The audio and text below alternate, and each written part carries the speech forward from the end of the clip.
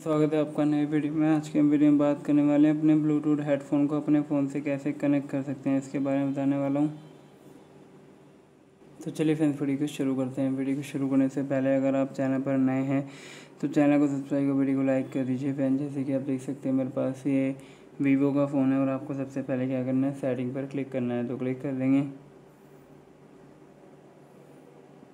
Setting पर click करते ही आपको इस तरीके का आइकन शो करेगा। आपको यहाँ पर क्या करना होगा? जैसे कि आप देख सकते हैं ब्लूटूथ डिवाइस पर क्लिक करेंगे। क्लिक करने के बाद अगर आपका ब्लूटूथ ऑन है तो ऑन ही रहने दें। अगर ऑफ़ है तो ऑन कर लेंगे। और उसके बाद अपने ब्लूटूथ हेडफोन को ऑन करेंगे।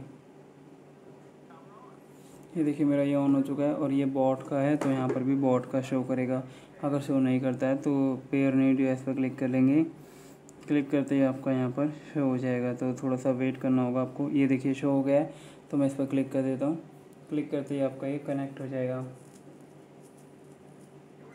तो ये आप देख सकते हैं, कनेक्ट हो गया है ब्लूटूथ हेडफोन। तो मेरे फ्रेंड्स, वीडियो पसंद आएगी। वीडियो पसंद आएगी तो चैनल को सब्सक्राइब कर, वीडियो को लाइक कर दीजिए। मिलते हैं नेक्स्ट वीडियो में, तब तक के लिए नमस्कार।